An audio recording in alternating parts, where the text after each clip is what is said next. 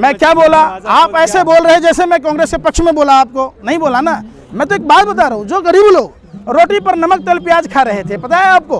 रामविलास पासवान जी कहते हैं साढ़े बत्तीस हज़ार टन प्याज गोडाउन में सर जाता है। पासवान जी आप कर क्या रहे थे? मुजरा गा रहे थे? आपके मंत्रालय के अधीन साढ़े बत्तीस हज़ार टन प्याज सनने का मतलब है आप गरीबों में बांट दिए होते। गरीब कम से कम महीना भर तो खाता। अरविंद केजरीवाल बीजेपी नहीं है तो फिर कांग्रेस को वोट दें हम। ये वोट देना जनता का काम है। मेरा काम नहीं है मैं नेता नहीं हूँ। तो जनता है तो आप आप मैं किसको दूँ एक ही अधिकार है मैं क्यों दूँ सार्वजनिक करूँ?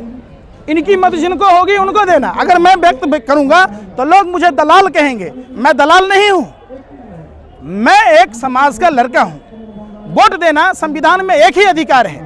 सिर्फ़ वोट डालना। वोट डालने के बाद कुछ भी नहीं है, खाली बोतल। मैं क्यों कहूँगा किस पार्टी को वोट दोगे?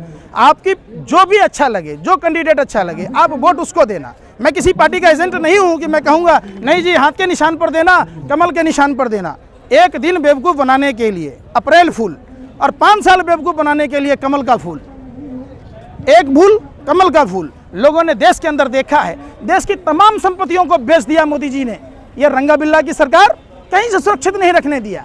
ये देवेंद्र फडणवीस को रातों रात मुख्यमंत्री बना सकते हैं। ये अपने एजेंट भारत के आधुनिक जिन्ना ओवैसी के साथ मिलकर सारी कानूनें, सारी हवाबाजी कर सकते हैं। तो ये क्यों नहीं कानून बनाते? लोग मर रहे हैं भूखे। छात्र को पैसा देने के लिए, विद्यार्थियों के लिए पैसे नहीं हैं। रातों रात ये मुख्यमंत्री सहित विधायक खरीद लेते हैं, सरकार बना लेते हैं। ये किसको बरकरा रहे हैं? इनको समझना होगा।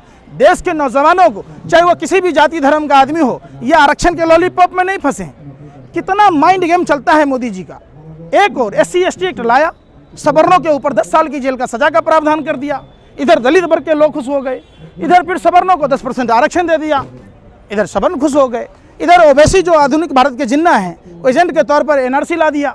इधर मुसलमान बनाम हिंदू, अल्पसंख्यक बनाम बहुसंख्यक, ये चुनाव जीतने का प्रोपगेंडा है। देश की जनता भूखे मर रही है। आप बांग्लादेश के लोगों को लाओगे, ले जाओ घर। कोई आप शादी विवाह करने के लिए ला रहे हो? देश की जनता भुखमरी के कगार पर है। जो कर, कर रही थी। जो फिर सुनिए फिर। मैं क्या बोला? आप ऐसे बोल रहे हैं जैसे मैं कांग्रेस के पक्ष में बोला आपको। नहीं बोला ना? मैं तो एक बात बता रहा हूँ। जो गरीब लोग रोटी पर नमक तेल प्याज खा रहे थे पता है आपको? रामविलास पासवान जी कहते हैं साढ़े बत्तीस हज़ार टन प्याज गोडाउन में सर जाता है। पासवान जी आप कर क्या रहे थे?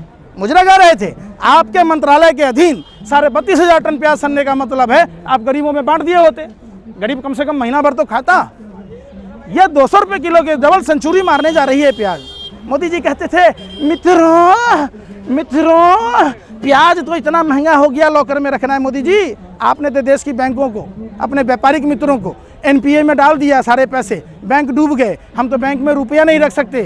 प्याज प्याज तो कैसे रखें प्याज? कहाँ रखें? मटकी में रुपया नहीं रख सकते। लोग पहले पूछते थे कि रुपया डबल कब होगा। अब पूछते हैं कि बैंक डूबेगा कब। मोदी जी कहते थे मित्रों, भाइयों बहनों, जिस देश में जाते, ऐसे ही बोलते हैं कि नेपाल का रुपया नहीं गिरता, बांग्लादेश का नहीं गिरता, पाकिस्तान का नहीं गिरता, श्रीलंका का नहीं गिरता, भारत का ही गिरता है। जिस देश का रुपया गिरता है, उस देश का चरित्र गिरता है। मोदी जी, आज आपका चरित्र गिर गया। कहाँ गई स्मृति ईरानी की नैतिकता? क्यों नहीं चूड़ियाँ भेज रही है? मेरे पास चूड़ी है। बोले मैं स्मृति ईरानी को चूड़ी भिजवाता हूँ। मैं अपील करता हूँ देश की सभी जनताओं से कि वो चूड़ियाँ भेजे स्मृति ईरानी को, अपने सांसदों को, ताकि इनको होश आए। ये लोग बेशरम लोग हैं, ये हमारे ही पैसे से सत्ता का सुख भोगते, चुनाव जीतते और हमें भूल जाते हैं। बेहद दुर्भाग्यपूर्ण बात है।